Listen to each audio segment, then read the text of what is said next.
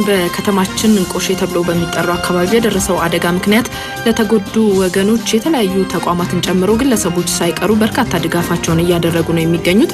ከተቋማት በዜናችን ላይ እንደጠቀስ ነው የኢትዮጵያ እስልምና ጉዳዮች ጠቅላይ ምክር ቤት የ100 ሺህ ብር ድጋፍ አድርጓል። የኦሮሚያ ብሔራዊ ክልላዊ መንግስት ደግሞ የአምስት ሚሊዮን ብር ድጋፍ ነው ያደረጉት። ከዚህ በተጨማሪ ደግሞ የሚድሮክ ኢትዮጵያ እህት ኩባንያዎችና የሚድሮክ ኢትዮጵያ ሊቀመንበር ሼክ መሐመድ አላሙዲና ቤተሰቦቻቸውም እንዲሁ ድጋፍን አድርገዋል። ይህንንና ሌሎችንም በተመለከተ ተጨማሪ መረጃዎችን ሊሰጠን ባልደረባዬ ደመቀ ጌታቸው በስልክ መስመር ላይ ነው የሚገኘው። እንዴት አመሸ ደመቀ? እንደምን አመሸሽ። እግዚአብሔር ይመስገን። እስቲ አጠቃላይ ያሉትን ነገሮች እንመልከታቸው፣ በተለይ ከድጋፉ ጋር የተያያዙትን። አንቺም እንዳልሽው ቅድም እንግዲህ ቆሻ አካባቢ አደጋ የደረሰባቸውን ወገኖች መልሶ ለማቋቋም የተለያዩ የህብረተሰብ ክፍሎች ድጋፍ እያደረጉ ነው የሚገኙት።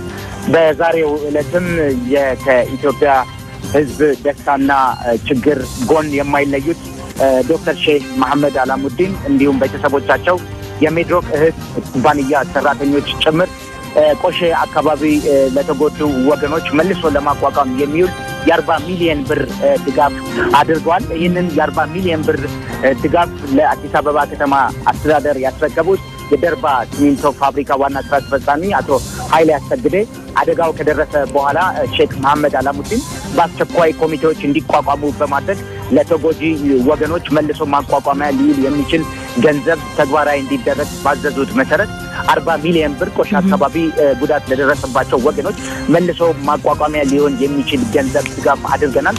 ወደፊትም ይሄው ድጋፍ እነዚህ ተጎጂዎቹ በዘላቂነት መልሰው እስከሚቋቋሙ ድረስ ድጋፉ እንደሚቀጥል ነው የተናገሩት። እንግዲህ በዚሁ የገንዘብ ድጋፍ ስነስርዓት ላይ የኦሮሚያ ብሔራዊ ክልላዊ መንግስት አምስት ሚሊዮን ብር ድጋፍ አድርጓል። ይህንን የአምስት ሚሊዮን ብር ድጋፍ የአዲስ አበባ ከተማ አስተዳደር ከንቲባ አቶ ድሪባ ኩማ ከተወካዮች የተቀበሉበት ሁኔታ ነው ያለው።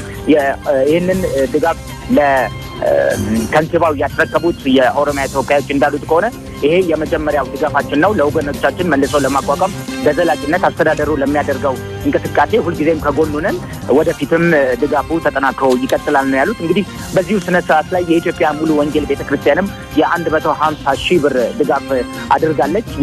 የኢትዮጵያ ሙሉ ወንጌል ቤተክርስቲያን ተወካዮችም በዚሁ የገንዘብ ድጋፍ አሰጣጥ ስነ ስርዓት ላይ እንዳሉት ለወገኖቻችን መድረስ ስላለብን በአጠቃላይ አንድ መቶ ሀምሳ ሺህ ብር ደግፈናል። ወደፊትም ይሄው ድጋፍ ተጠናክሮ ይቀጥላል ነው ያሉት። እንግዲህ ቆሼ አካባቢ የደረሰው አደጋ አሁንም እዛው አካባቢ ፍለጋው እየተካሄደ እንዳለን አሁን መረጃው ያገኘሁት ከአዲስ አበባ የመንግስት ኮሚኒኬሽን ያገኘሁት መረጃ እንደሚያመለክተው ከሆነ አሁንም እዛው አካባቢ ፍለጋው ተጠናክሮ እንደቀጠለ ነው።